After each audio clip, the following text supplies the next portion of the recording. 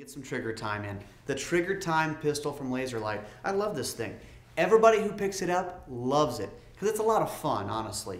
But you can do some serious training with it. And what I like to do is set up targets around the house, or better yet, have your your friend or whatever set them up around the house where you don't know where they are, and you have to work corners and work clearing your house and finding these targets and shooting them. So let's just take a look. I'll show you what it looks like.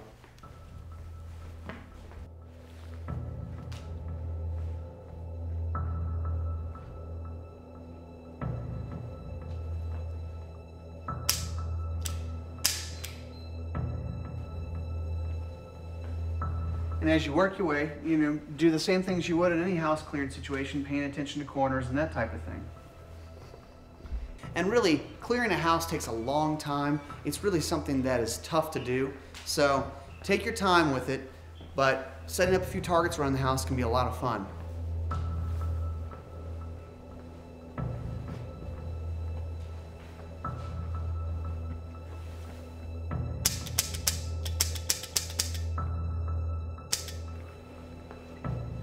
It's a lot of fun.